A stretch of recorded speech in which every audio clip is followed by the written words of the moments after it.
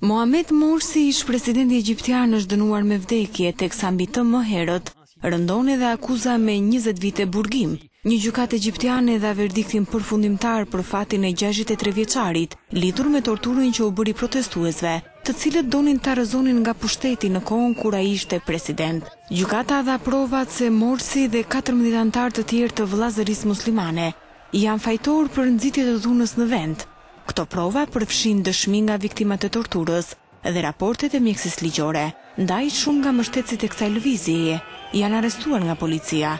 Por për sa i përket dënimit me vdekje, vendimi fillimisht duhet të kishte kaluar në duart e Grand Mufti, i cili është përfaqësuesi më i lartë shpirtëror i cili është përfaqësuesi më i lartë shpirtëror i vendit. Megjithatë, vendimi lë vend për kontestime të mëtejshme.